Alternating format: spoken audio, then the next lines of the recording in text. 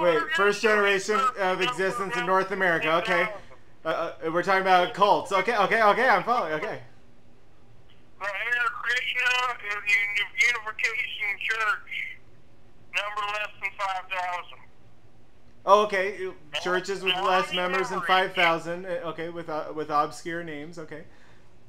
On the average, these groups have 1,000 uh, to 3,000 members. Okay. Okay, that that's that's pretty powerful. Okay. Thus, an estimated 150,000 individuals are involved in the so-called cults at any one time.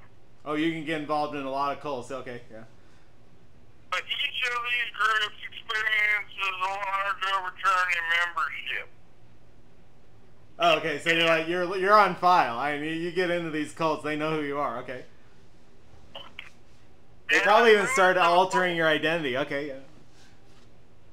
Reports of cults numbering in the thousands and enrolling people into millions contain grossly exaggerated figures circulated by anti-cult groups to promote a climate of hysteria. Okay? Oh, anti-cult groups. Okay, right. So people are taking a stand against these cults. Okay. Such figures have no basis in fact and represent, at best, the wild speculations of those who make their living fighting alternative religions. Okay, making money off weird ideas. Okay. Of the 75 cults, almost all attention has been focused on 13 alternative religions. Thirteen alternative religions. Okay. Okay.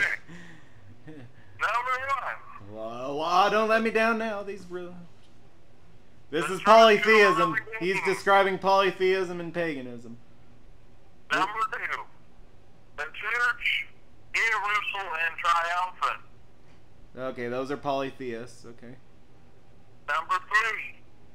The church and Scientology. That's my favorite. Oh, okay, th- those are. Uh, what would you call those? Agnostics. The International For Krishna Consciousness. Okay, now those are those are pagans and polytheistics. Okay, Krishna is pagan and polytheistic. I, I identified that. Okay.